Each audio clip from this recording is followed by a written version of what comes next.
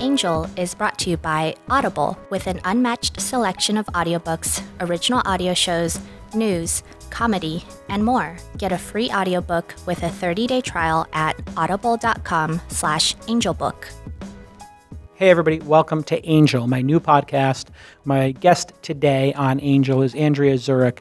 She's a former Googler. In fact, she was one of the first 100 employees at Google, where she handled a lot of sales and marketing efforts. And she took all of that experience and her network in Silicon Valley amongst Googlers and others and has put it to work investing in startup companies. She's got her own techniques for investing, and we'll hear about her techniques and her process in the first half of the show. In the second half of the show, she's very candid about her losses, things that were frustrating, as well as the big wins in her portfolio. So, a lot of honest and insightful uh, remarks from Andrea Zurek. Please enjoy.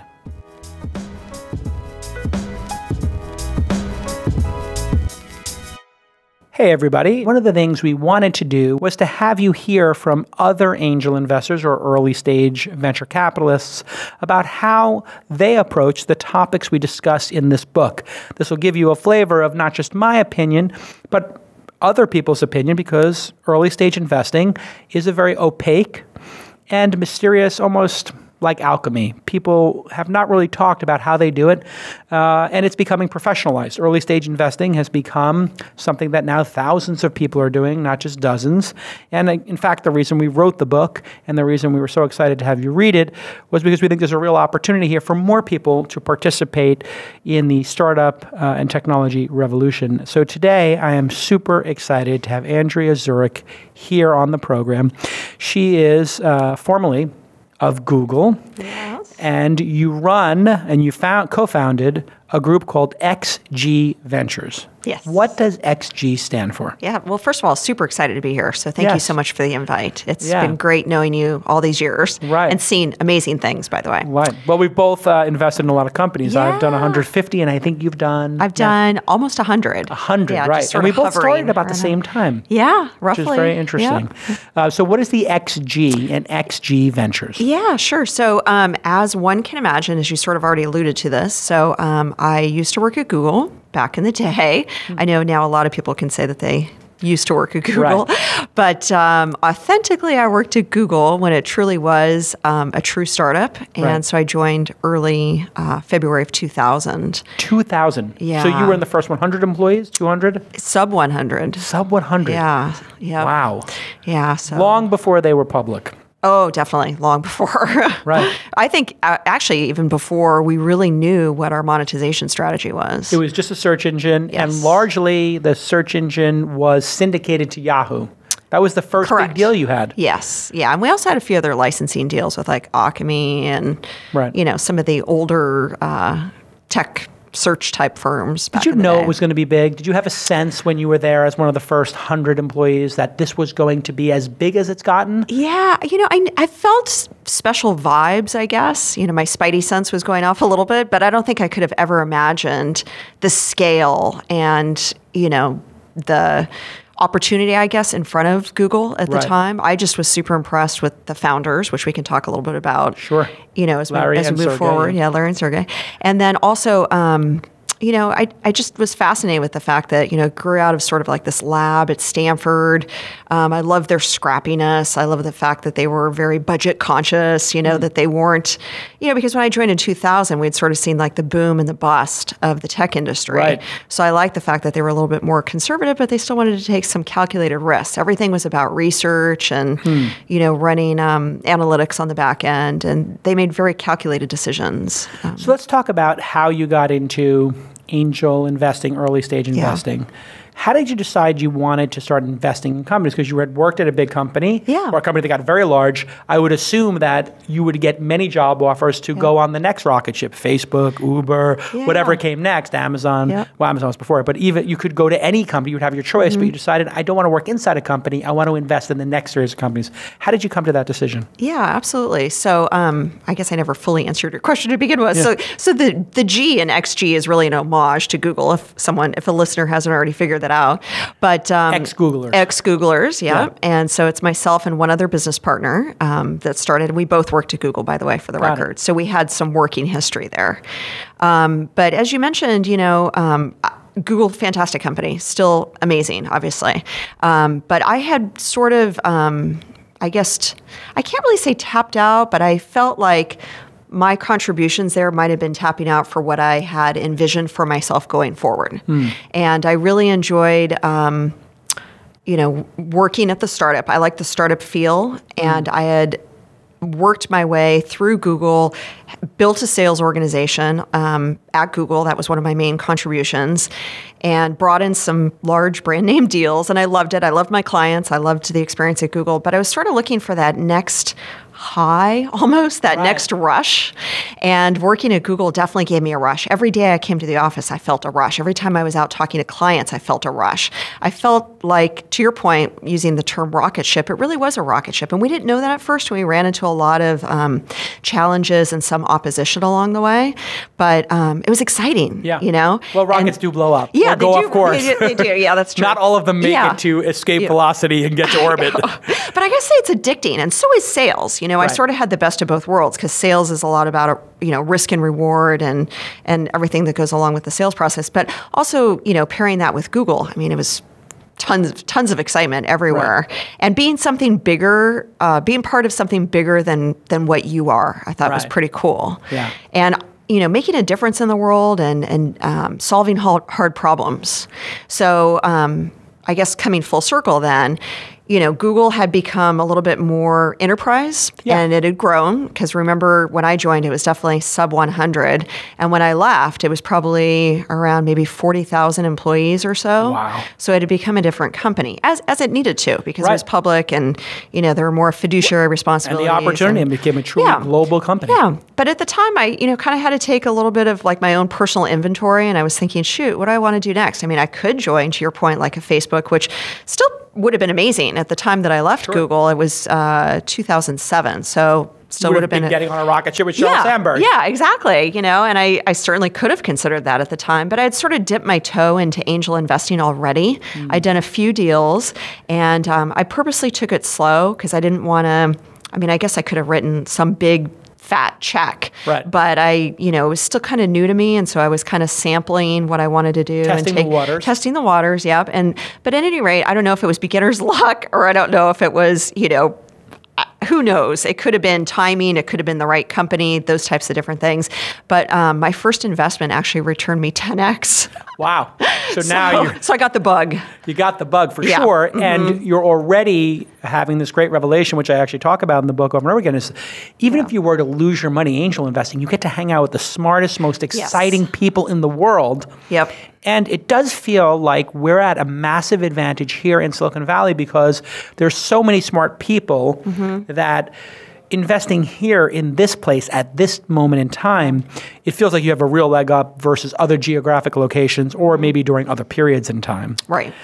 What were your original check sizes and how did you source your deal flow? Yeah. So, um, well, it's kind of interesting now, now that I sort of sit back and think about it. So, my original deal, I actually found the way I find my current deals. It was through my personal network. Ah. Yeah, and it actually came through someone that I worked with at Google, and he had a really good friend, and he he himself had invested in that person's company, and that company had done well. So it was one of those things where, and I guess one of the things that I liked at Google is that you know, it was kind of an open environment. You could chat with your colleagues, and it was very flat.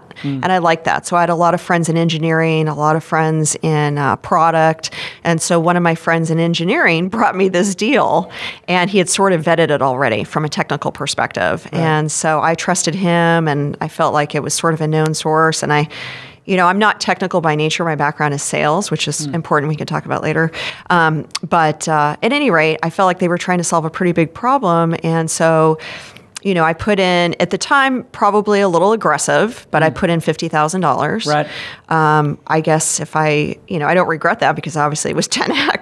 Yeah. But uh, but you know, I guess I probably could have started a little bit more slowly with like a ten thousand dollar check or something like that. Yeah. But I felt pretty bullish, and so that was my first check size that I wrote. And it's interesting that you mention, hey, your superpower is sales. When you are angel investing, and I talk about this in the book a bit, usually you're bringing something to the table, not just money. And in your case, mm-hmm. knowing both how Google matured and knowing sales. That's something that is real tangible va- value to a founder beyond your money. Do you find that the founders who you work with want your money first and your network and knowledge second, or are these things all equal? Mm-hmm. What do the founders tell you when you invest? That they want your money, or they want your knowledge, or your network? Yeah.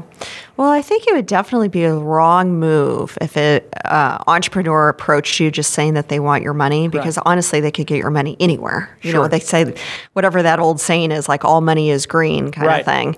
Um, so I think they would be uh, doing themselves a disservice if yeah. that's what they place well, they as important. But what do you think they're but, really um, coming for? Do, you, do, they really tap you for the sales expertise? Yeah, I, I think it's a combination of everything. Yeah. I mean, now, of course, 10 years into this, we've built quite a portfolio. So there's a uh, lot of um, networking, I suppose, and synergy within our own portfolio.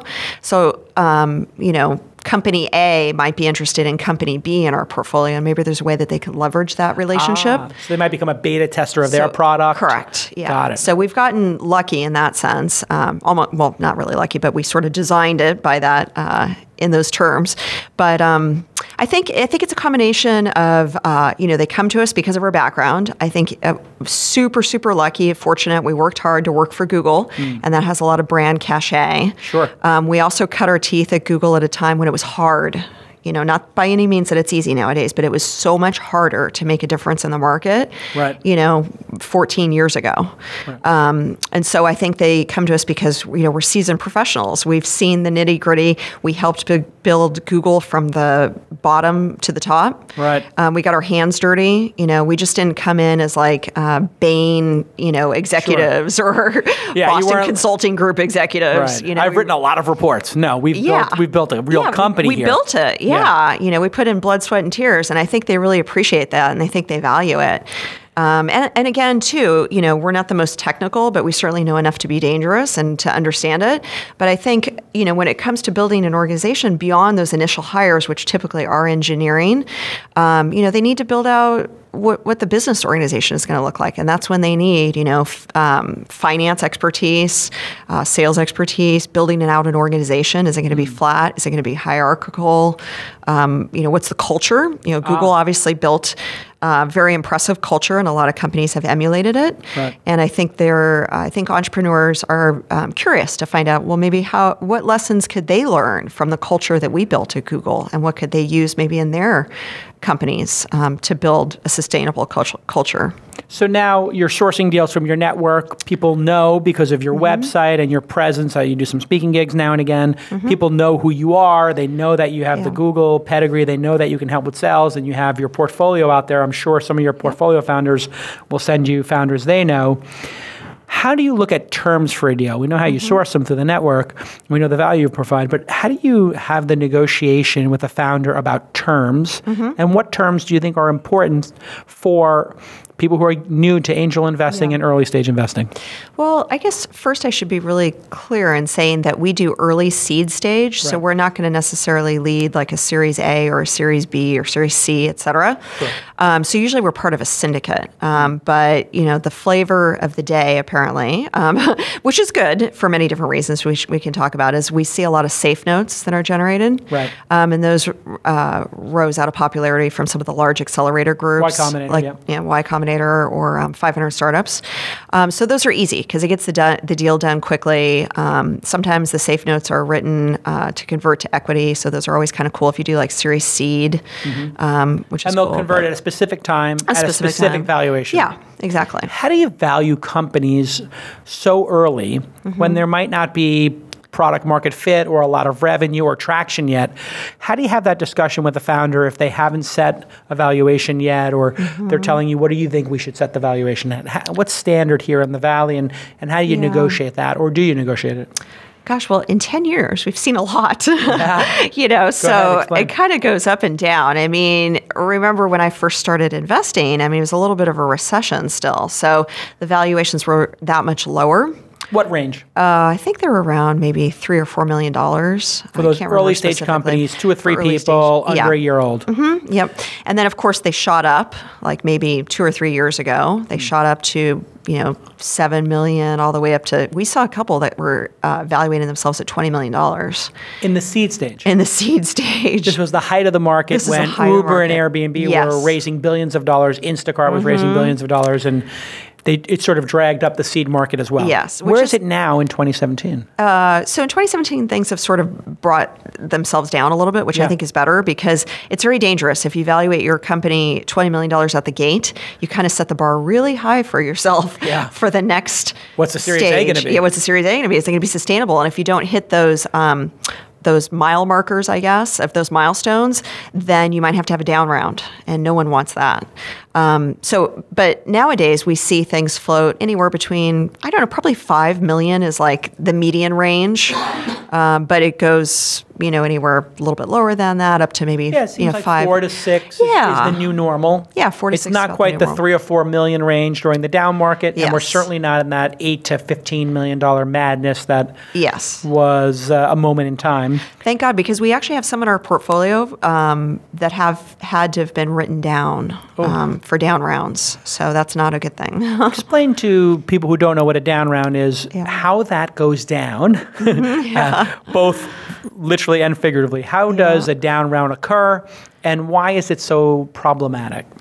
Well, it's problematic for a lot of different reasons. Number one, it, signaling. Ah. It could be problematic for sigla- signaling, especially when you're getting ready to raise your next round. Mm. And if you're not successful, it raises a bunch of different flags. Um, and sometimes down rounds happen for lots of different reasons, whether they haven't met their uh, revenue goals, you know, they haven't brought in the right amount of sales, or, or, or perhaps they don't have, you know, um, based on user growth, maybe user growth has Hmm. slowed, um, or they just haven't projected user growth correctly. So they raised at $12 million or Yes. something, let's say. It was the height of the market, or 10 Yep. million. dollars, and now they go out to raise more money, and the market says, They, they No. say no. Yeah. So or they the- question, like, what have you done and why have you not met these uh, goals? Right. So then they have to write it down because essentially the company's not valued uh, where they thought they were originally. So nobody will invest at that level. The founder has to have a talk with the existing investors and Yes. say, we can't clear market. Correct. Yeah. And it's not necessarily a bad thing, Hmm. but it is a little bit of a haircut, you know, that companies take, investors take, um, and even founders take. Founders So it- set themselves up for a little bit of a challenge. So if it goes from 12 million, let's say, down to six, the, the new Yeah. normal, mm-hmm. what happens to the existing investors? And then what happens to the management team? And then how do they communicate that to the existing investors? Mm-hmm. It seems like a very hard discussion to have. Yeah. You invested at 12 million. The company, 18 months later, mm-hmm. after we spent your money, is now worth uh-huh. half. Well, yeah, that's exactly it. So then we got to rewrite our books a little bit, Right. You know, and so our numbers are affected. Right. So they just call you up and say, hey, w- we can't get it done. We're going to raise at this level. You're going to be diluted. Yes, it's not well. It's not that easy either. Hmm. I mean, there's lots of warm up conversations that happen in, in between all that too. Right. I mean, uh, it's not pleasant if it comes out of nowhere. I mean, the good entrepreneurs will give you a heads up and a warning, Hmm. and uh, those are the folks that you do want to work with because not everyone's going to be a unicorn right out of the gate. They might have some challenges, but there's a few companies in our portfolio that um, might have tweaked things a little bit, even with a down round, and then it was it was actually in those instances a good thing because then they pivoted. Ah. And then they figured out, okay, business model A is not working, but because the, pis- the pivot, business model B is actually that much better. Right. And with that pivot, guess what? You know, user growth went up or revenue sales went Right. went up, and then they're in a much stronger position when they're ready to raise that next round. How do you decide if you're going to follow on in a situation like that? And how do you assess deals where they're raising another round of funding and you're deciding if you want to go pro rata? I'm assuming you, uh, like I, always have pro Mm-hmm. Yeah, rata and you will not do deals without pro rata. Am I correct? Yeah, correct. Uh, because we see that as an opportunity to double down and make uh, more money on our winners, which Yes. is essential. Uh-huh. How do you decide if you're going to go pro rata or if you're going to stand pat? or even do a, da- a down round? Yeah. Down rounds are tough. I mean, we really have to see progress with that potential pivot, you know, um, before we decide to double down in that instance. Right. Um, but usually we just kind of, it's a hard pill to swallow and we just have to swallow it and move on. Um, for pro rata, though, it's a different. pass, when you say and swallow it, pass. yeah. yeah. and pass. In that instance, we just hold tight. It's sort of like, you know, you're at the table at Vegas and, Yeah. you know, you just got your money and- Yeah, exactly. You're like, you know what? It's, it's been a good run, but I think I'm going to, I think Walk I'm just away with going to my walk away. Yeah, chips. exactly Time to call it a night. time to call it a night. Yeah. yeah. But um, I think uh, you know, just going back to your pro rata. I mean, yeah, that's definitely when you when you do want to double down, and sometimes we can't get enough of our pro rata. We'll say we'll take pro rata plus, you know, if there's anything extra, let us know. You know, um, and those are always kind of kind of good things. Let's talk about selection. You Yeah. meet with, I'm sure, a couple of dozen companies to pick one. Is that about. Yeah. right? What's the ratio, do you think, of companies you meet with in person or talk to on the phone and then Yeah. wind up making an investment? Gosh, it's really hard. I mean, we have a formalized deal review every Tuesday. So we look at what's in our pipeline, uh, but it comes from lots of different things, whether or not we're going to a bunch of different demo days, you know, it. standard deal flow, all that kind of stuff. But um, I haven't really counted lately, but I guess if you were to add up, maybe we look at a thousand deals a year or something like that, a thousand plus. Right. And out of a thousand plus, um, you know, we're active in the sense that we like to do about 10 to 12 deals a year. One a month. So about one a month. So it's one in a hundred or so. Correct. Now, um, that's still pretty healthy, I think, considering that we're still maintaining our pro rata Hmm. um, in the 100 plus companies we already have. Right. So the number of follow on investments you're doing probably equals every year or exceeds the number of new investments at this point in Correct. year six or seven of doing this. Yeah, exactly. Yeah, so we always have to keep a little bit in reserve. So we're not going to get crazy and say, oh, we think this is going to be a great year. Let's do 20 investments. Right. You know, and it's not like we're capping ourselves, but that just seems to be what history has dictated as far as our um, being able to stay in this business as long as we've stayed in it. Talk about the selection of a company. There Mm-hmm. seems to be many different philosophies of how to do early stage investment. I've seen people say, I'm just betting on the founder. I've seen people say, I look at the product and I just bet on the product. Other people say the market. And then finally, there's another group of people that says, I just look at who the existing investors are, what the social proof is, and if Cyan Bannister or Andrea mm-hmm. Zurek or mm-hmm. Jason Calacanis or Tim Ferriss is investing or Chris Sacca, I'll invest mm-hmm. alongside them and I just pick based on who I just follow on with the great investors. How do you do it, Andrea? Gosh, I wish I could just say it was one variable, but it really isn't. So you're, you, like to look at multiple variables. We do, yeah. Take me through some of them. What is an average conversation like when you're looking at a startup? Yeah, I mean it's it's uh, well, it's kind of a little bit of everything. I mean, obviously the founders make a difference. Um, Hmm. do you in person, there? Yeah. in person meetings are always the best. But if we can't do in person, we'll do Skype or or what have you, or Google Hangouts. But I think we look for. Um, you know, tenacity. I think we look for um, the ability to be hungry. You know, um, I think we look for forward-looking uh, type vision. You know, has this particular entrepreneur or I guess what I should say is like founder or co-founder. Sometimes we meet with two co-founders. Ah. Yeah. Um, what we don't like to see is a single founder. That's tough. Why? Um, that's for a lot of different reasons. You know, um, what if the single founder has failing health, or you know they have personal um, challenges that they're going through, et cetera. Um, so basically, if something happens to them, then the business is definitely jeopardized. So if you have one or two, if you have two or three, yeah, um, founders, then there's some redundancy. So that, I guess that goes back to like, you know. Uh, the background of the founders. Um, how many are there? What, what's their background? Have they been proven before? Are they first time entrepreneurs? Are they re- repeat entrepreneurs? Right. Um, what's their pedigree in the sense of, you know, have they also come out of Google or did they graduate from Stanford or Yep. were they ex Facebook engineers or what have you? Um, not that we're exclusive to that, but it's certainly helpful because it shows that they passed a certain litmus test of working Right. for these very well known um, competitive companies. Right. So they have to have some level of skill to have attained Yes. the Stanford degree or having gone to Harvard and quit, like, you know, Zuckerberg Yeah, and, totally. and also uh, Bill Gates. Yep. Uh, so, so that's uh, you know, like fou- founders, you know, um, their background, their expertise is very good. I think also if they've thought through their business model, um, that's also impressive. I mean, it's not always about the first dollar that's brought in. You know, a lot of times you, um, w- you know, we'll look at success of a company based on how many users they attain and how rapidly you know they can uh, grow their their uh, user base. Um, so those are, but I, I guess what I look for is like like, have they thought through this? Have they thought through what the potential business model could be? Where's their next um, set of revenue, or where's their next um, where's their revenue going to come from? How are they going to grow the business?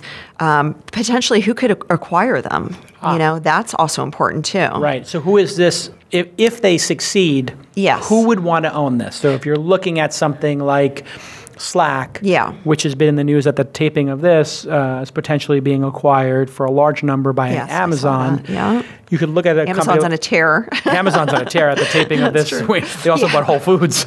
Um, but it does seem like some businesses, if they do wind up working, there are so many natural acquirers for them. Slack is just such a cornerstone of enterprise computing now, Yeah. and and um, people's identity. That gosh, there's there's an unlimited number of people who could use that asset. Uh, what about the market? I hear some people say, "Hey, I like to invest in markets, not just people." Um, I, I- think the market's more important than people. What do you think? People or market? Do you look at the market and say, "I need to know the total addressable market"? I don't know. I or do you think that's so. overblown? I think it's overblown because you can make those numbers up. You know, I mean, certainly you don't want it to be such a niche market that no one's going to use the product or it's going to Right. be, you know, because at the end of the day, you know, we're in the business of obviously helping companies and being part of something that's pretty cool and exciting, but we're also in the business to make money, Hmm. and so you want a healthy return on your investment. Um, so to be clear, we're not really giving, we're not in the business of giving out loans. Right. it is sort of a loan in the sense that we're helping you grow your business. Um, you know, through helping you raise capital, but it's not just a loan like you'd get from your rich uncle. Right. You know. they're not just trying to get their money back plus ten percent. Yeah. So We're really looking for something that's a breakout success. You want to get to that 10 or 20 or 50x because it makes up for a lot of misses. Correct, And then yeah. you bank actual significant returns uh-huh. over time. Yeah, so I guess in answer to your market question, you know, you want the market to be at least healthy enough to support a type of exit like that. Yeah. Versus a super niche um, industry. All right. Well, this has been super, super enlight, uh, enlightening. I appreciate your good. time. And when we get back, we're going to talk a little bit about Andrea's portfolio and go through some of the big hits, some of the misses, and then some of the ones in between, what we call the old acquihires when we get back. Yeah.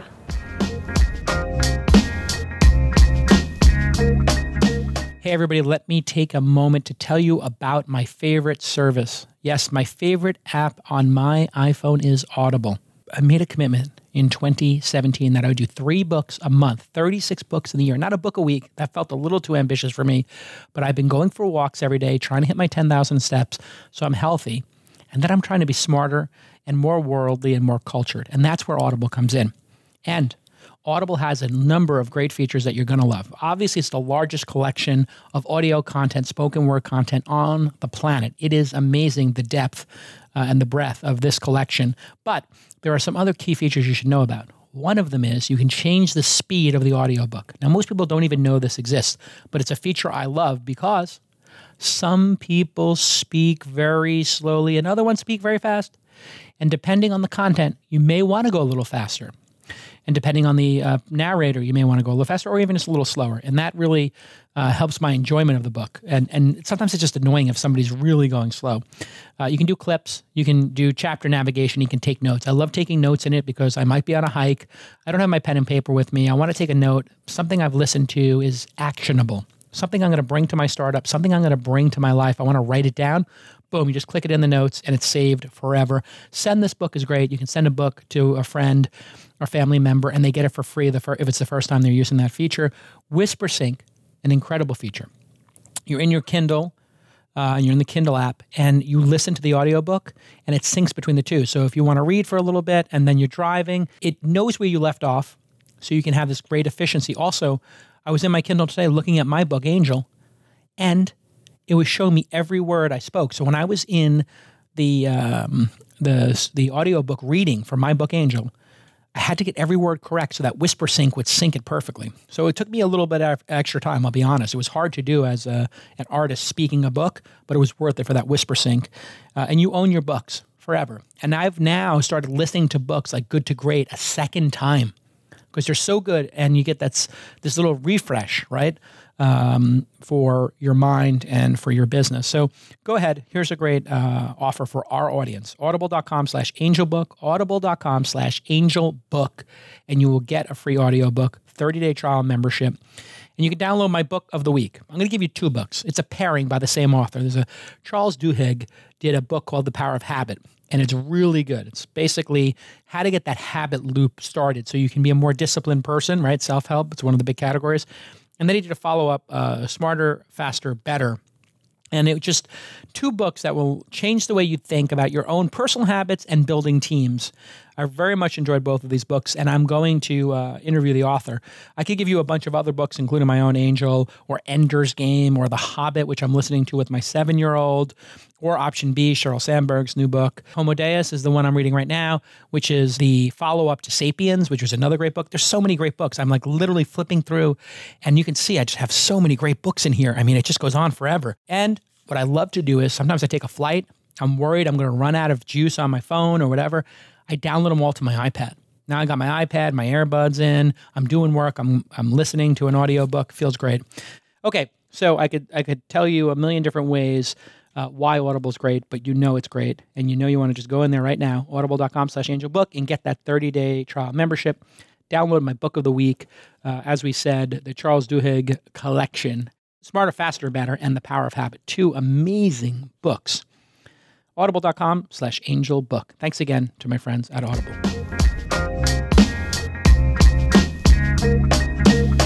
Okay, I'm sitting here with Andrea Zurek uh, of XG Ventures, ex Google Ventures, ex Googler, and she's invested in 100 companies. There are some intangible things you, people look for in founders. What are some of your intangibles that you think about when working with a founder or not working with a founder? Are there pet peeves or just things that you go, wow, that's something that really attracts me to working with a founder? Yeah, it's it's a lot of different things. I, I'm envisioning this one founder that came in. Actually, um, it's a consumer uh, app that's mm. selling um, artist based um, uh, products. So, for example, if you wanted to create a T-shirt that had uh, smiley face emoticons on it, huh. um, he's developed a way to create these T-shirts very quickly and simply. Um, but when we first met him, he literally was wearing all of his product. right. so I thought that was pretty cool. So that's a little bit of an intangible in the sense that he was actually representing his brand. He was repping his brand. right. Super passionate. Super passionate. Yeah. Right. So we liked that. So passionate quality and some other intangibles that we were talking about before is, um, you know, like the mismanaged part of it. You know, um, will the entrepreneur be respectful of your time? Mm. Because, um, you know, that particular entrepreneur might think that they're the only person that we're looking at for their particular company, but we've got a hundred thousand of these things in our yeah. pipeline. So how do you stand out? Right. So I think it's being respectful of knowing um, what our investment philosophy and thesis is. So when we get an email that's sent to us, you can tell right away if mm-hmm. it's either like a form letter, uh, you know, SendGrid blast, right. or if it's uh, personalized to our firm and to either my partner or myself if it's they've nice done to know a that they've done research. some research. Maybe watched an interview with you, or read yes. your blog, or checked your social media, and mm-hmm. they understand that they're a fit for you. Correct. And they're contacting you at the right time. Yes. Yep. And also respectful of our time. You know, so not saying, for example, I'm going to be in San Francisco tomorrow. Can I meet with you for 15 minutes? I mean, I appreciate the aggressiveness, right? But I'm also a very busy person, and right. so I can't really. It's a little bit weird. It's a little bit weird. Yeah. Yeah. yeah. You know, I started to get text messages a lot now because yeah. I guess iMessage you can guess people's emails. Yeah. and I get this, hey, Jason, and it's kind of a weird approach. Yeah. So tell me, Andrea, when you get to that phase when you're negotiating a deal, do you ever get red flags where people maybe over negotiate or just suspect behavior where they're changing terms or just not smooth in terms of dealing with the founder? Yes. Um, the exact names of these particular companies are escaping me, which is maybe good. That's good. But, um, yes. but I distinctly remember what happened to us. So um, we had expressed interest in, say, Company X. Right. Acme and, Ventures. Uh, Acme Company. Oh, Ac- Acme Ventures, yeah. yeah. And um, it was presented to us, uh, and, and, sometimes the aggressiveness of presenting a deal is warranted. You know, there it could be um, an oversubscribed deal. It's a hot deal It's a hot deal, yeah. And in those instances, you got to move quickly, and I appreciate the aggressiveness and everything else. But what I don't like is if a deal is positioned as being hot and it really isn't. Ah. So, in other words, we've been told by the founder, oh, yeah, sure, you know, I'm raising a million dollars, I'm oversubscribed at 1.5. And then we commit, and then we say, okay, here's our check for X. And then all of a sudden, the closing of the deal takes a long time. Mm, red flag now. It's definitely a red flag. And so, um, in those instances, as time's moved on, of course, we've gotten wiser. You know, if we sniff something out that things Right. aren't going to close, we'll say, okay, we will soft circle. X amount of dollars for you, Right. but we won't fully commit until you show us, you know, that Who the else is round really in. is closing and who's coming in. Right. And that's been another red flag where people might overcommit. And I'm just throwing out these names, for example, but you know, they'll say, "Oh, Sequoia is in," or Right. Kleiner Perkins is in, or Right. Chris Sacca's in, or and you, know, call Chris Sacca or Sequoia Yeah. and you say, hey, what do you think of the deal? And they're like, we and haven't met with these people. Never Yeah, heard of them. Never heard of them. So that's a huge red flag. I've been on the other side of that where people say Jason Calacanis is committed. Yeah. And I had a meeting and I said, um, let's keep the conversation going, but I was nowhere near committing. And that is a, just a horrendous red flag. Oh, it's a huge red flag. And Yeah. so that's really ticked us off in a lot of instances. And then a lot of times we'll just say, you know what? Not for us. And Not then we'll just us. completely walk away. Yeah. And that's easy to do as you get further on in your angel investing Yeah. Mm-hmm. career and you realize, hey, you know, early stage investors are investing in a basket and they don't have to hit every company. Mm-hmm. Yeah. There is no rush. You're going to do this for five years. You don't have to hit everyone. There's no Mm-hmm. Yeah. need to panic that you'll miss a deal. Yeah, that's a very good point because sometimes sometimes people have that whatever it's called fear of missing out, the FOMO, FOMO. FOMO, exactly. And so you know you gotta you gotta be able to step away, and, and you see that a lot with the um, with the demo days. And I love going to demo days. I'm all about my demo days, but sometimes you can get um, you know sucked up into the the feeding frenzy Right. of some of these companies. They're constructed to be a feeding frenzy Yeah. where they're telling you it's closing. Yep. And I actually had a company send me the term sheet with $100,000 in a DocuSign. Wow. Yeah. because I had clicked on the button that said, you know, I'm interested, Oh, or I enjoyed like the a hand- presentation or whatever in the, Yeah. you know, in the interface where you go to demo day, and they're like, well, we took the liberty of sending it. We heard you say on this podcast that you typically do 100k, and Yeah. so we just wanted to, you know, uh, close this up as quick as possible. It's like, uh, yeah, uh, talk to my assistant. We can, I can meet probably in two or three weeks. Like the round will be closed, and I said, okay. Yeah. Then you just You know what happened? Yeah. They were in my office three weeks later. They hadn't closed their round. See, I just, I, I don't, I mean, it's a fine line, right, between being aggressive and being Right. assertive, which is what you need to do. Sure. To get um, an investor's attention, but then you also have to be respectful too. Right. And there's like a level of BS, I think. You know, Yeah. like if I'm if I'm one of the top whatever number of angel investors in the world and you're trying to use high pressure tactics on me, Mm-hmm. it just sh- it shows that you don't respect that I, I'm a considered person Correct. in my mind. I don't know how you feel about Yeah, it. no, I, I totally get it. But I think you have to understand who you're who you're pitching. I mean, if you're pitching Sequoia, they're going to have their own process, and these are the people who did Google and they Yeah. Mm-hmm. did Apple and Cisco. Like, got to be respectful of the process. Yeah, All right, let's talk a little bit about your portfolio. Sure. Let's talk about some of the big hits that you've had or things that have worked out very well for you. Um, tell me about two or three companies that have done well and that you're super happy about your investment in. yeah. Now, when you say do well, are you talking about an exit or still continue to do well? Yeah, so I would say it could either be an exit or it could be marked up or that's growing nicely, right? So obviously, I don't want you to reveal any confidential information, Yeah. but obviously, you invested in the first stages, so we can go on Crunchbase and probably see that they've raised two or three rounds of funding. That's a Right. good sign that you're on the road to a nice exit, right? If they get that Series B or Series C. Mm-hmm. Yeah. So, have you had some of those in the last five years? Oh yeah, absolutely. I mean, these are still active companies. Sure. But, um, Tell me. So uh, we invested in a company called Keen.io. Sure. and uh, they've grown and they are an example uh, like that where they've gone from series a to series b i'd have to double check because i have Sure. 100 companies Yeah.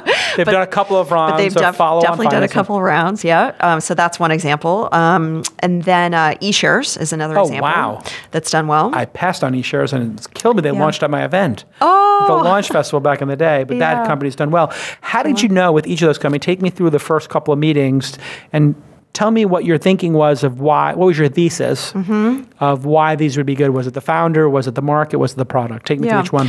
Well, I guess just to stay on the uh, e-shares vein of things, um, we saw it as solving a big problem. Mm-hmm. Now, uh, when we first started doing research into the deal, we realized that, that there had been other competitors out there that had actually failed. Ah. So, um, understandably, I could see how some people maybe passed on the deal, um, but we absolutely loved the founder. Um, I thought he was super passionate and cool and just seemed to get it. He seemed to um, already have a vision of how he was going to build this company.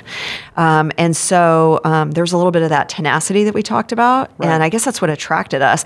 Plus, from a, a user perspective, um, for anyone that isn't familiar with eShares, it's basically a platform that anyone in the venture space um, can use in the sense of managing their deals. Right. So um, it's a platform where you can track um, all of your um, uh, deals from like a paperwork perspective. So, for example, if you invest in a company at a seed stage and then they raise a second round, like Series A or Series B, electronically it will do all the math for you, Right. and it'll show you how um, your share price might have increased with the new round of financing, And what your dilution is, and what your entire cap dilution is. table. Yeah, and so essentially it's an electronic cap table. Right. Um, it's a it's a platform that you can access all these deals. So it's Right. great from an investor standpoint and from um, from I guess uh, the attorney standpoint, it's great because it's a it's a cheaper, faster, more efficient way of processing all the paperwork that goes Right. along with the legal perspective Yeah. of uh, of investing. And then of course for the entrepreneur entrepreneur and the company, Yeah. the the the startup company, it's a great way of um, sending out like 409A forms and I guess all the legalese type documents that you need. But. Right. anyways, long story short, we felt like eShares was solving a very big problem that was going to affect a lot of people. Right. So we thought, you know, and it One was also a SaaS thing- model. Sorry to interrupt. Yeah, no, no. excited. SaaS model is great, right? Software as a service, you know that there's going to be reoccurring revenue, so the lights are going to stay on. Yeah, As opposed to people buying some software off the shelf one time. Right. You got the credit cards. Yeah. But one thing that was interesting that you mentioned was with eShares, hey, you found a lot of roadkill. A lot of companies had Yeah. failed. Yeah. But that didn't dissuade you. If a bunch of people failed that, it wouldn't you say, "Oh, this is impossible. Nobody can figure it out"? How do you look at previous companies failing? I think, well, luckily, it's, it's not over with yet, right? Right. But eShares has made a lot of inroads in the marketplace. Sure.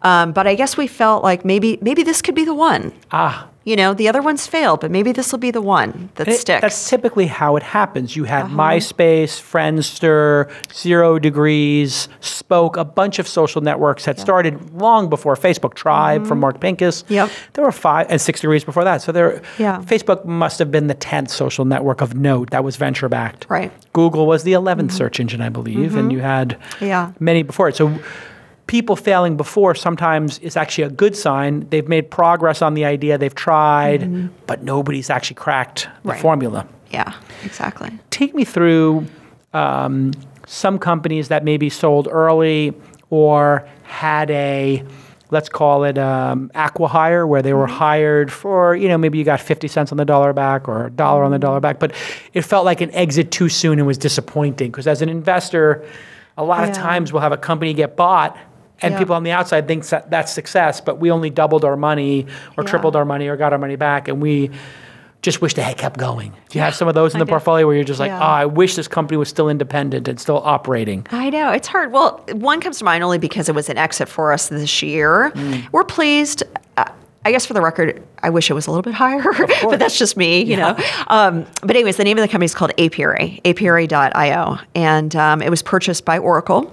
Fantastic. Which is- Seems fantastic. Yeah, seems fantastic, and, and it was. I mean, it's definitely. Um, I don't know how much I should disclose. I mean, it wasn't like a, a 10x deal for us Right. by any means. So a single or a double? It was a single or a double, yeah, which is good because sometimes you know you can build a very nice portfolio with a lot of Yeah, singles and they doubles. add up.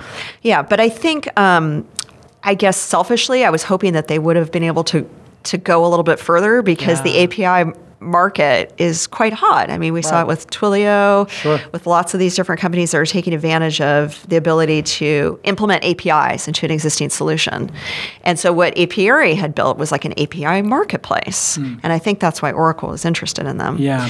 But um, it was surprising because I thought, gosh, Oracle's such a, um, gosh, what's the word I'm looking for? Like an established player, Right. you know? And I, they might, they might be doing amazing things, you know, but they're more um, sort of like the older standby of companies like the Yeah. Cisco's and the Oracles. And I guess I was sort of um, thinking, you know, some Maybe a a Google yeah, maybe or a Facebook. Maybe exactly, yeah. Yeah. Or or maybe they could just really grow this into an IPO type business. Yeah.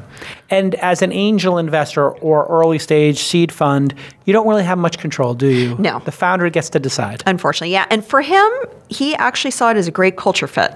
Right. Um, and that's good because you want the entrepreneur to be very happy. You want them to have a great soft landing for their company. Right. You want their employees to feel happy and supported and um, you know a good cultural fit. Why do you want that? I, I mean, as an investor, I'm going to play devil's advocate here. Why do you even care? Why would you care? Because I- you I got your money back. Yeah, I suppose to be hard and fast about it, Sure. you know, you probably care less. You know, Right. it's just the bottom line. But, you do care. I can but see do that, and I do care. So yeah. sincerely, why was it just being a human you care, or is there some Yeah. other reason? I don't. I don't know. I think it's uh, maybe just being a human. I think. I think it just. It's sort of what got us into this business. That, you know, ultimately.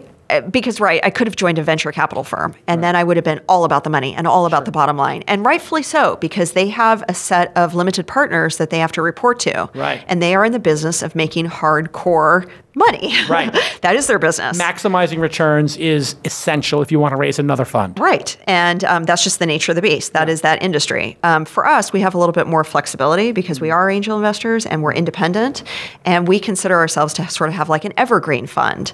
You know, our fund is as large as our pocketbooks are large.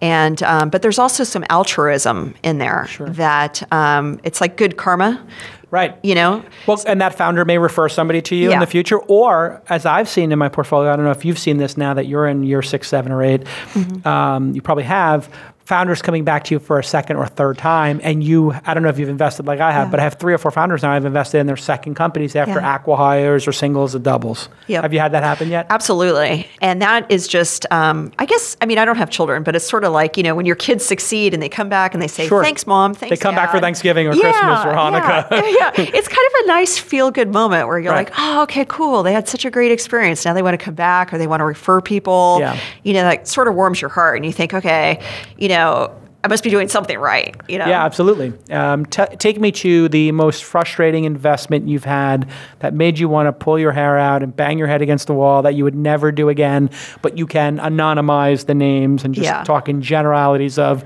oh my God, I'm just, I made a mistake here. I shouldn't have done this deal because we all have them. Yeah, I know. I am going to mask uh, the name of the company. Please because, mask it, yeah. Yes, the entrepreneur I love to this day. I love him. I think he made a valiant effort, but it was Mm. a tough industry, and essentially the industry, at least for us, didn't work. And it's the travel industry. Hard industry. It's very Lots hard. of incumbents. Mm-hmm. Is that why it failed, the incumbents, or I was it just so? Yeah. Yeah. I think it was just kind of a tough road, and it was crowded, and you know we took a chance, Mm. Yeah. you know, um, but he just couldn't execute. Uh, Ah, that's tough. Yeah. So, So you're watching the founder try to execute in a difficult market, Yep. and he's just not building a good enough product, not hiring a good enough team, yes, correct. not Yeah. doing good enough growth tactics. Everything is just and poorly executed. Yes. What do you do in that situation? It's sort of like if you invested in a restaurant and they just can't make a good steak. What do you do if you're the investor and you're watching and you go to the restaurant and the food's not good? You know, it's kind of one of those tough conversations you have to have. Mm. And I really value and tip my hat to the entrepreneurs that I guess are man enough or woman enough to realize that and um, don't get sort of pigheaded with the idea of like, I'm just going to run this company into the ground until I have zero dollars left in the bank. Right. This particular entrepreneur realized his company was failing Mm. and uh, he tried very, very hard to get it. It, it actually was acquired, but it was acquired for almost cents on the dollar kind of thing. But um, at least he uh, was able to return a little bit of capital to the Mm. investors. And so that actually, I mean, it wasn't big. It was probably, I mean, I'm not even kidding you. Like at the end of the day, we probably Five got a check the for like $30 or something. Hilarious. But, but it just sort of showed that he cared. And it was like, you know what? Uh, people believed in me, for example. I, I'm, I'm speaking like for the entrepreneur, like, you know, you guys, XG Ventures, cared enough to uh, believe in me. So I'm going to believe in you guys and at least try and return whatever I can. See, I think how people behave in failure Yeah. speaks even more than in success. Because in success, Uh-huh. everybody made money, everybody can pop champagne corks. And if there was some behavior on the edges that wasn't, uh, you know, exactly where you wanted it to be, it's kind of forgotten in the Yeah. victory parade. Yeah. But in failure, I I've literally had two companies now where they had acquihire possibilities, Yeah. and they literally said, you know what, I really don't want to work for that company, and um, it's below market rate, and you know the only way we're going to get a return for our investors is if we spend a year over that company, which I'm not willing to do. Yeah. And I'm Yeah. like, wow, you will never be funded again, at least not by this cohort of investors. Correct. If you couldn't be bothered to at least try to get us 50 cents or 75 cents on the dollar Yeah. because you didn't want to put the year in. Yeah, I know. Yeah, Isn't that amazing? Yeah. I mean, it feels, and in both cases, it felt like very, you know, I thought this would be like something to expect from a millennial. In both cases, Yeah. it was not millennials, it was Generation X people. And I was like, really? Yeah. Like, don't you think you're going to have like another startup company? And I, I think in their cases, Yeah. they just did not care. Wow. Yeah, you run into those people that are just, yeah. Yeah. But then I think, I mean, it's hard, right? Because you want to say, oh, the industry's so small, you're going to run into these people. Well, I guess sort of, you know, with AngelList and everything, the industry has become a little bit bigger. but, Yeah. but still, uh, you know, some of the main influencers, like you don't want to tick them off because people still talk amongst their circles. It, it, as much know? as I want to believe that, it's really interesting because we, we see people have bad reputations. Yeah. Um, I can think of two companies where they had horrible behavior in Mm-hmm. these specific companies, and the two founders in both cases left and started other companies and got venture backed again. Yeah. And it just left everybody in the industry scratching their head saying, "Who it. that person was ousted from their last company for bad behavior, and now you're going to invest and somebody's investing in them again?" Yeah, it makes no sense. And I talked to, in both cases, I had talked to both VCs about it. Just happened to be, and in, in both cases, they said, I think he learned a lot. I think this person has evolved. Yeah. And I was like, in a way, that's nice, but I don't actually buy it. I think it's just greed. yeah. Oh, I think you just agree. think this person's a marauding, because in both cases, the the infractions were in the marauding growth space. You'll fill in the blanks as to who it is. I'll tell you afterwards. Yeah, We okay, no anonymize the names. Um, when you look at um, uh, angel investing, what's your best advice for somebody just starting out? Let's say they're an accredited investor, and we'll end on this. They're an accredited investor right now, and we'll do a non-accredited Yeah, yeah. next. But we'll talk about accredited. Maybe they have a net worth of a couple million dollars. What percentage, roughly, if they were going to do this mm-hmm. half time or full time? Let's say they're going to really do it here in the valley, and they're going to do it for 30 hours a week or 60 hours a week. You know, it's going to be a big portion of the time. What's your best advice to them for year one, and mm-hmm. maybe what percentage of net worth to deploy, and you know feel comfortable about it? How would you tell them to approach year one of angel investing? So, so now we're talking about accredited. Accredited. This is somebody with five million, Okay. let's say four million dollars in net worth.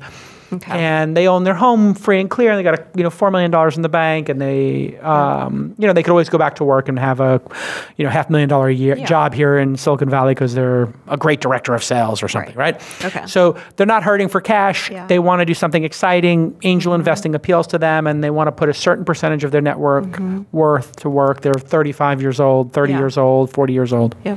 Gosh, it's kind of hard because it's so personal. But I guess Right. like in industry terms, you know, I've seen you could probably do about ten percent, and you could still, you know, if your home is already paid for and things Yeah. like that, you know, then it's almost like a hobby for you. It's almost Yeah. like the equivalent of taking that trip to Las Vegas, or Yeah. you know, it's basically money that if you lost it, it wouldn't make a difference in your lifestyle. Right. It wouldn't make you go, oh, I got to move into a smaller home. Yeah. Or I can't go to Hawaii. I've got to go to San Diego Yes. for vacation or something. Yeah.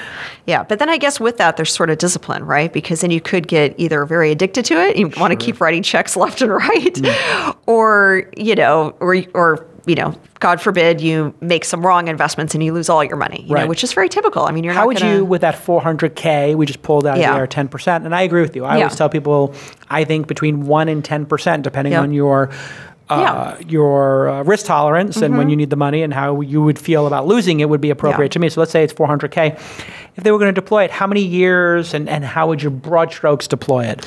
Gosh, broad strokes. I mean, so I'm trying. I'm just thinking. Sorry for the silence. I'm trying to think yeah, about think, this. think it through for a I'm second. trying to and think- we're- I'm, I'm making Yeah. you do math at the moment. Not everybody does back of the envelope no math. worries. I'm just trying to think, right? I guess what I want to say is like my qualifying statement is that in this particular industry, you might get some returns early on, like I did originally. Remember, Sure. I invested in company X Yeah. and um, I got like 10x in Sure. maybe one or two years, but that's kind of an outlier. So Very the much so. industry in, in general, it takes roughly 10 years to these get a to- full, you know, where things are starting to look good, you know, seven to 10 years. Um, like I said, you might have a few outliers. So I guess going back to your $400,000 example, I mean, maybe for grand, someone wants to try it for four years. You could do 100 grand every year for four, for four years. Um, you know, you could make it last a little bit longer than that because not, it's almost like, it's not my example. It's sort of an industry example, but you have to treat it as like the wine industry, certain vintages, right? Right. Like, you know, a particular wine now 2017 may not be as good as an investment, you know, 2020. You know, Right. each year is different for different reasons. Right. So I guess where I'm trying to go with this is that you need enough money or you need enough fortitude or discipline to make that money last over many years. Right. Because a lot of these investments aren't going to all hit in year 1 or year 2 or year 3 or year 4. Right, because So- you might have had that vintage. That was the high valuation year, so maybe you take your time. Yeah. Put 25k now into what would be uh, 16 companies over time. Mm-hmm. Right. Uh, and you have a decent chance at uh, portfolio management and So- diversification of. So, for example, I can't predict the future, but I can talk about what's happened in the past. So, we started this in 2007, 2008 time Mm-hmm. period. Um, one would argue that was a very crazy time to get into angel investing because um, of the recession. the financial crisis. The financial Great crisis, yeah. yep. However, um, we felt that it was the best time to get into it because, valuations were low. Ah. Um, you know, we could make a little bit more bets. Our money was going that much farther And people weren't betting; people were on their heels. and people were on their heels, right? And so now, of course, hindsight's twenty twenty. But some of those investments we made back in two thousand eight have been our best investments. Wow. You know, we got our best return. Me too. Yeah, congrats, congrats. There's a couple of really good ones in that vintage. Yeah, Thumbtack, exactly. So, yeah. Uber and Wealthfront in that. Oh, uh, absolutely. that great vintage there. Yeah. Uh, it is about vintages. That's a really great Yeah. Observation. You, I can tell just by talking to you, you love what you do, don't Yeah. you? Oh, thanks. I absolutely do love it. Every What do is an adventure. so- is it? What do you love about it? Is the adventure? Is it the thrill? Are you a gambler? What is it? The Oh, rush? Well, yes, I am actually a gambler, but um, Are you I, really? I do love. I do love to go to Vegas. what do you like? You, were you blackjack or I'm poker? blackjack. I'm blackjack and uh, Texas Hold'em poker. Oh, you play poker? Me Yeah. too. Oh, you do. Oh my god, you have to come cool. play in the home game. Yeah, absolutely. I would love to. but uh, but anyways, but uh, so I like to gamble. Uh, not not that I would say venture capital is all about gambling. But 'cause it's about risk. But it's about risk. Yeah, and it's intelligent risk. It's very, it's more analogous, wouldn't you say, to poker, Texas Hold'em poker, than to blackjack? Because Absolutely. blackjack's nothing like poker. Yeah, no, two totally different Yeah. animals. Yeah. Yeah. But I think it's that. And then it's also, you know, as much as it is uh, science, data, technology, analytics, I love all that. By the way, Hmm. we're managing XG Ventures all on the back end using a lot of data. Hmm. We're not just doing this willy nilly. I mean, we're capturing a lot of numbers behind this. Um, but I think what I like also is the human aspect. As much as it is tech capital, it's also human capital. Right. And I, I love that. And maybe that's m my sales Well, I think you're extrovert. If you're in Yeah. sales, I would guess that you Oh, were uh, an ENTJ. I'm going to Yes, take a wild guess a here. good guess. I think I'm going to guess you were an ENTJ on the Myers Briggs. As an extrovert does well in investing because you have to meet so many people. Uh, yeah, absolutely. And you got to be some intro- flexible. introverts can do very well if they're doing that market analysis and looking Yeah. for signal. They can Yeah. be very disciplined. So I know some introverted people I think who do very Yeah. well as well. Yeah. Um, all right. A non-accredited investors is a new discipline that's just started. Yes. Mm-hmm. I'm sure you've been watching this. Um, what's your advice for somebody who might want to dip their toe on Republic, Seed Invest, and some of these crowdfunding sites? I know that the Mm-hmm.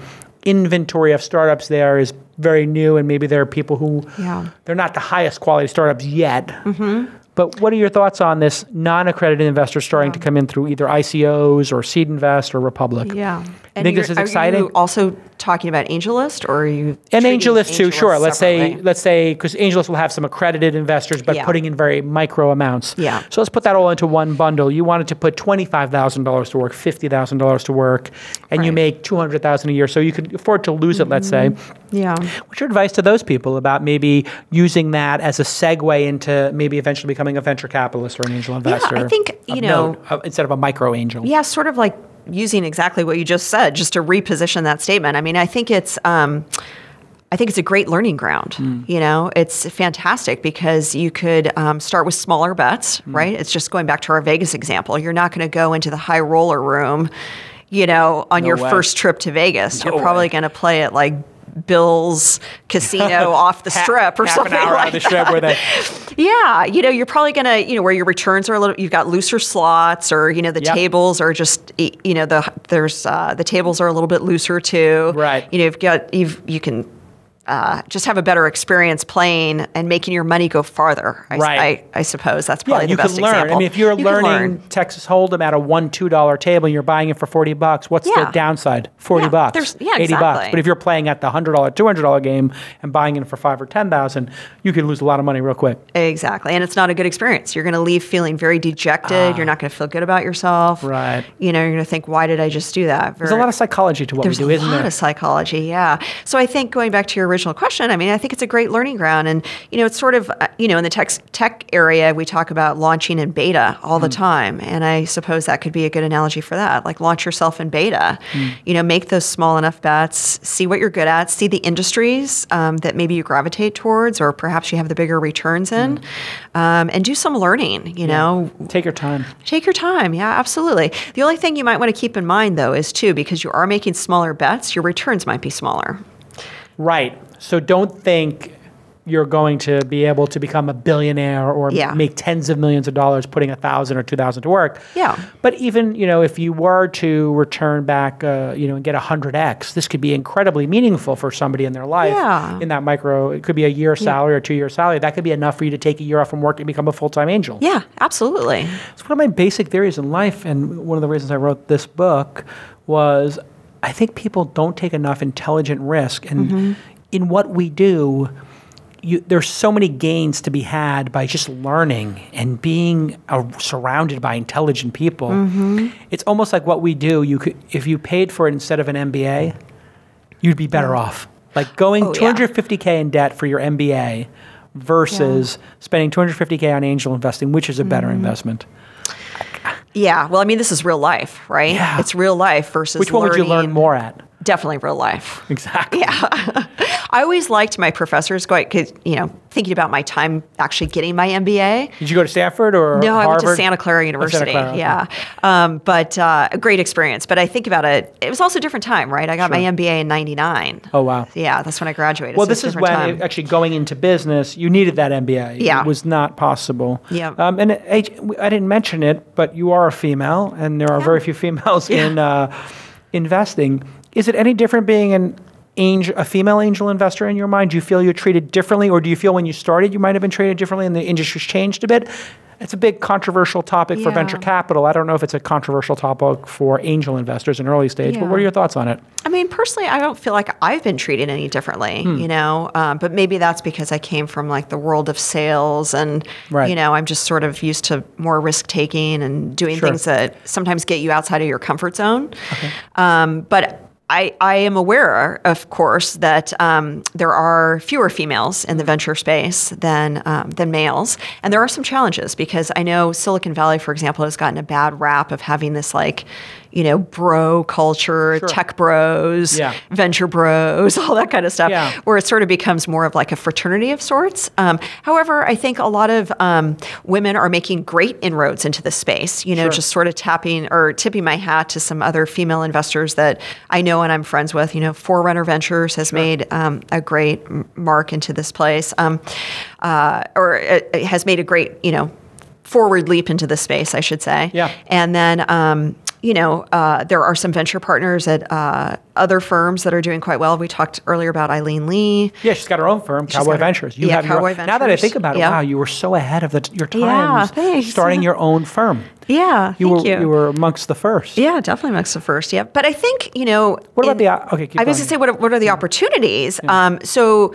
not that we. Uh, every year set out saying, "Gosh, you know, gosh, this year we're going to invest in like twenty percent more female female found founder led companies." It works out that way, kind of, but we don't say that. But I guess what I could say um, more definitively is that you know when we are pitched by female investors, um, you know, having me at the table along with my business partner, I think, is a good thing um, because you know I might think differently than my business partner, and depending on what we're listening to, what the business pitch is, you know, maybe the business pitch is designed to target the female audience, Right. And I might understand that better because I am a woman Right. versus my business partner, who's also very amazing and awesome, happens Right. to be male, but you know, he's also very forward thinking and Well, women know, control the majority of this household spending, and Yeah. so when you think about how backwards it is. That high growth businesses that are targeting consumers, especially in the consumer space, would not have Yeah. the female perspective at the table. yes, It's just mind boggling. It is actually, and some of our, and I have to, you know, give a shout out to this particular company. ThirdLove is a great example of this. What does this company do? Um, ThirdLove has is basically revolutionizing uh, women's uh, bras. They're Oh, yeah. taking on the likes of Victoria's Secret. I know and- this company, yeah. Yeah, and they're um, doing quite well, and they've um, modeled their business to kind of do some different, interesting things things using technology. Um, so they're kind of cool. They're Right. very cool. And um, the founder has uh, been recognized in Forbes magazine, and she's definitely you I've heard a lot about it. Yeah, Heidi. Heidi Specter is her name, and she's fantastic. It's And interesting too because it, when you think about the fe- the male perspective on this, I would never even understand the opportunity. I couldn't Yeah. tell you how often women would change their bras or how many bras they would own on average or when do they get when do you refresh them. I can tell you about men's underwear, which is week. I'm 46. I just got rid of my college underwear. nice. It took me about two decades, but I literally just threw every pair of underwear I've ever owned out and bought all new Tommy Johns. But that's only because I have a little bit of money right now and I can afford to do it. But men, we hold on to those underwear until the, the holes in them make them into, yeah. you know, But uh, you know, there's I guess- barely anything left. yeah, but I mean, I'm, I'm just I'm continually impressed with her what she's continued Yeah. to do with her company and the product and the product line extension. And to your earlier point, I mean, women control a lot of spending dollars, and she's tapped into that. This is something candidly on the Yeah. other side of the table. You haven't felt, I think, discrimination as a female investor. Mm-hmm. Do you think female founders uh, are held to a higher standard of performance by male venture capitalists and investors? Um, and has that changed in the last decade of investing that we've both done? Yeah, I, I mean, it's hard to say. I wish I had some statistics off the top of my head to kind of back up that statement. Unfortunately, I don't. But just kind of got going off of anecdotally, I suppose. Um, Yeah, that's what I'm looking for is the anecdotal. Yeah, you know, um, I think there are some challenges, you know, but I think as some of the venture firms continue to hire female partners, venture partners, that's going to be a little bit different. Um, and I, I think it's going to be more helpful for these uh, female founders to get the attention that they need. Um, but we've also seen some female founders excel in this space, Yeah. you know, um, and I think that's helped, you know, pave the way. if people can see the role models, If they can it makes it so much easier when you models, see Sophia Amoruso or Brit and Co. or Mm-hmm. Ali Pincus. When you start to see these women building billion dollar companies or hundred million dollar companies and raising twenty million dollars, Yep. you're like, hey, there's no reason why a female can't raise twenty million. Yeah, absolutely. I do think they get held to. I've, I've heard from a lot of the female founders I have that they get held to a little bit of a higher standard. They have to be that much better to get the same Yeah. credit. Um, but what I do love about investing in female founders is I, I don't know if you've had this experience of they take the work more seriously on average than men. Yes. I have found that even with pitching, for example, I've noticed female founders come in um, with more statistics, and I even actually am guilty of it myself, More right? prepared. I just said, I wish I had the statistics and things like that. Oh, that's interesting. Whereas uh, men come out more bravado. You Right. know, less like substance. They, they- less They, can, substance. they pretend they're credible on things they're not. yeah, absolutely. I've seen that so many times. Yeah. So, and I noticed that when uh, female founders are pitching us, they have like reams and reams of data of the market research that they've done, whereas typically the male counterpart will come in Yeah. and they've done zero market research and they just figure, uh, you know, I had a company, I did X before, or I worked at Facebook, or I worked at Google. I must be really good at this. Mm. Right. You know, and sometimes that's true, but other times, you know, they've done no research, whereas the Right. female founder comes in and does more homework. You know. Yeah, I do see that the the effort put in. I- I- specifically, it's interesting you make this observation, Yeah. Andrea, because I've seen it in the in the pitch meetings. Yeah. much more diligence, much more attention to detail, Yeah. which then gives you a bit of a tell how you do in that pitch meeting. That, that, Yeah. That's going to be how you're going to sell in the future. You're going to take Yeah. it more seriously. And I'll also say this too, and again, we were kind of joking about Miss Manners before, but I see female founders like really closing that sales loop. You Uh-huh. know, not only do I get a nice introductory email telling me about themselves and the Right. business and trying to get on my calendar and all that, but equally so, the follow up is there. Right. You know, like, thank you so much for your meeting. Here's some uh, backup. You know, information. you know, Follow up. Follow up. When can I get on calendar to see you next? Yeah. What's your process? What's your process? Yeah, they're a little bit more buttoned up sometimes than Yeah. the male count- counterparts. I, you know, and if, what one female founder told me was, Jason, we, we females, she was speaking for everybody, was Yeah. we have to be. Yep. because we can't take the risk that you're going to count that against us. We have to be buttoned up. We have to have it dialed in Mm-hmm. because we're not going to be given the benefit of the doubt. And I think there's a little bit of something to that. I do think it's changed dramatically. The number of female founders I'm seeing has gone way up, just. Yeah. way Oh, up. yes, definitely. It's fantastic. Yeah. But you know, though, I think it's also because a lot of the, and I'm just kind of using accelerators as an example. Mm. The last couple demo days that I've gone to for Y Combinator and 500 startups, Yep. uh, whether it's, you know, Paul Buchheit or, you know, um, uh, whoever's you know at, Yeah, it's a focus. at the lead at uh, Y Combinator at the time, they purposely will come out and say this is our focus for this quarter, or Mm. you know we're we are purposely looking at more minority led companies or more international companies. There's more or- intentionality of getting more people to apply to these incubators and accelerators. We're, Yes. we're very focused on it at launch. We literally Yeah. are doing a, we realized we have to put out there in the world that we want Absolutely. this in order to draw people in. Yep. So we said we're going to create a founder university, which is a two-day front Yep. for us to get deal flow. It's Yeah. literally just a device we created to draw people in, and we said, you know, let's just do one. Jackie uh, on my team and I and Ashley. So let's do female founder university. Yep. And it's going to be 35 female founders only. And since we said, hey, we're doing this, and we put the Mm-hmm. intentionality that we're having everybody come together for two days for free to talk about building your company better, faster, Mm-hmm. Yeah. more efficiently. Well, now more women are applying because they realize, well, we care and we want more. Therefore, they feel, I guess, I, I I don't want to read into it. Hey, maybe this is a more friendly place for us, a person who wants to work with more Yeah. female founders. So it's No, more I definitely applaud you and your group for doing that Yeah. because I think it does make a huge difference. You know. Yeah. Well, because there's there's always like one or two guys on Twitter or Facebook who are like, I'm going to the Wonder Woman women only screening. Right. And they have to like put their Yeah. ticket. I don't know if you saw that, where there's a Wonder Woman screening and like, I'm so offended that women are going to go see a movie together that I'm going to buy a ticket to the women's screening, Yeah. tweet it, and then get into arguments with women Oh my online. God, that's ridiculous. And it has to, you know, at the end of the day, this has to be a natural process. I don't feel like it could be so Yeah. orchestrated either, Yeah. you know, Yeah. that it loses its validity. I feel like, Right. you know, I mean, it's good to, to, to give that platform and that stage, you know, that opportunity, but it can't be so calculated either. You don't want little check boxes to say, like, oh, I'm going to see Wonder Woman or I have to, you know. Yeah, there are trigger words in our society affirmative action, quotas, all Yep. this stuff. And I, you know, the person who had the biggest impact on me was um, the the uh, Mitch and Freada Kapor. And Oh, yes. Freada Uh-huh. was Yeah. very inspiring to me, saying, "Hey, Jason, you know."